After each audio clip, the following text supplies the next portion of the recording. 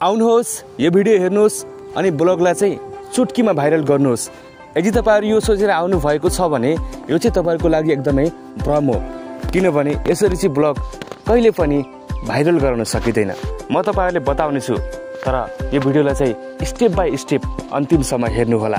Hello guys welcome to my new another video तपाईँहरूले यो मेरो नयाँ भिडियोमा धेरै धेरै स्वागत छ।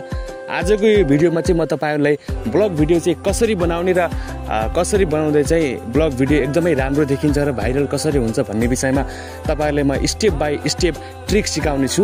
यो भिडियोलाई चाहिँ अन्तिमसम्म हेर्नु होला। यदि तपाईँहरू मेरो च्यानलमा नयाँ हुनुहुन्छ भने पनि च्यानललाई सब्सक्राइब गरेर जोडिन सक्नुहुनेछ। अहिले चाहिँ पछिल्लो समय चारैतिर चाहिँ ब्लगको चाहिँ निकै नै डिमान्ड चलेको छ।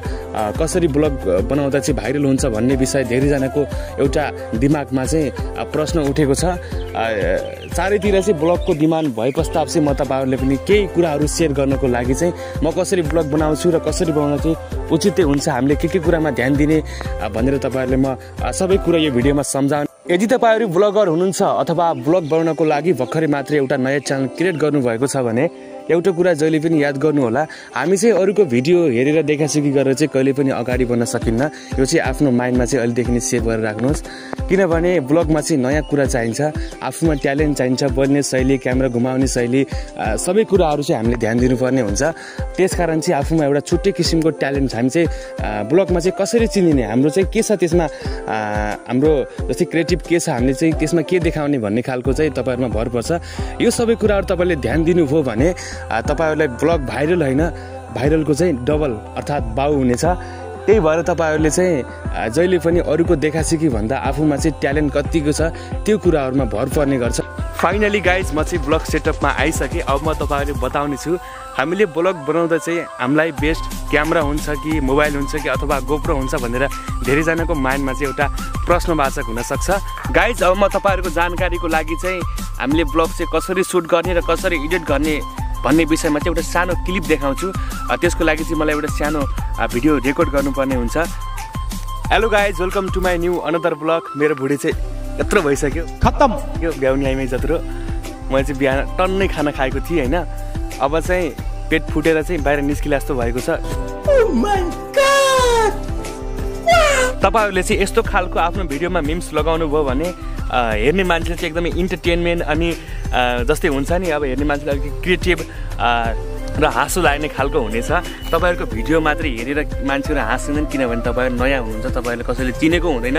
त्यस्तो खालको मिम्सहरू लगाउनु भयो भने अलिकति तपाईँहरूलाई पनि नलेज हुनेछ। अब म तपाईँहरूले बताउने छु हामीलाई ब्लग बनाउँदा बनाउँदा चाहिँ कुन चाहिँ बेस्ट हुन्छ? मोबाइल क्यामेरा अथवा गोप्रो? हुन त ब्लग बनाउने मान्छे अलग अलग एङ्गलका हुन्छन्। कोही मान्छेहरू मोटो ब्लग अर्थात् बाइक बाइकमा बनाउने हुन्छन् कोही मान्छे यसरी मजासरी बनाउने हुन्छन् भने कोही मान्छेहरू चाहिँ पाहाडतिर जाने धेरै रुचाउँछन् ब्लग चाहिँ तिन प्रकारको हुन्छ। तिन प्रकारमा चाहिँ यसरी बनाउँदा चाहिँ तपाईँहरूले क्यामेरा बेस्ट हुन्छ र तपाईँहरूले पाहाडतिर जाँदै हुनुहुन्छ भने र मोटो ब्लग बनाउँदै हुनुहुन्छ भने तपाईँहरूको लागि चाहिँ गोप्रो नै बेस्ट हुन्छ।